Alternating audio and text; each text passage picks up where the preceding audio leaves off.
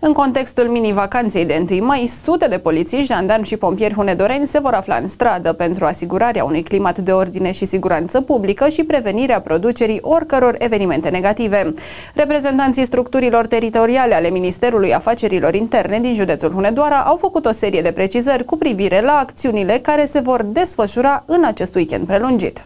Conducerea Inspectoratului de Poliție Județean Hunedoara a dispus intensificarea activităților de prevenire a faptelor antisociale, astfel că în perioada următoare peste 200 de polițiști vor acționa zilnic pe raza județului Hunedoara, în cadrul dispozitivului de ordine și siguranță publică, având ca și prioritate prevenirea și descurajarea oricăror evenimente care ar putea afecta liniștea cetățenilor, precum și intervenția rapidă în cazul în care sunt sesizați cu privire la comiterea unor fapte antisociale. Pentru prevenirea accidentelor de circulație, polițiștii vor acționa cu 11 aparate radar pe drumurile publice din județ și vor folosi și echipamente și dispozitive de stabilire a consumului de alcool sau substanțe interzise. În mini-vacanța prilejuită de sărbătoarea de 1 mai, pompierii hunedoreni sunt pregătiți să acționeze cu mijloace tehnice de intervenție din dotare pentru stingerea incendiilor, acordarea primului ajutor medical de urgență și salvarea persoanelor din medii ostile vieții.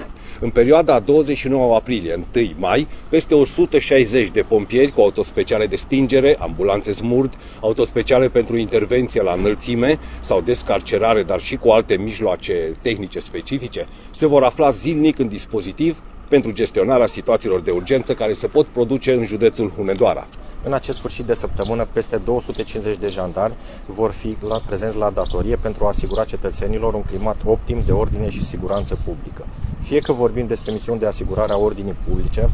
la manifestări sportive, manifestări religioase, festivaluri sau târguri, jandarmii vor fi prezenți în toate zonele județului, alături de partenerii instituționali, pentru a se asigura că fiecare cetățean este în siguranță. De asemenea, vom fi prezenți și în zonele montane ale județului Hunedoara, unde jandarmii montani se vor afla zilnic pe trasele turistice și în stațiunile montane, echipați și pregătiți să intervină pentru salvarea persoanelor aflate în dificultate, cât și în cazul constatării unor fapte de natură antisocială.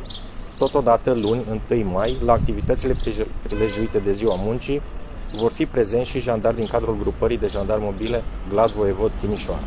Recomandăm tuturor cetățenilor să adopte un comportament adecvat în momentele în care participă la manifestațiile din spațiul public, să respecte recomandările forțelor de ordine, iar în cazul în care se află într-o situație dificilă, să solicite sprijin celui mai apropiat echipaj de jandarmi sau să apeleze cu încredere numărul unic de urgență 112.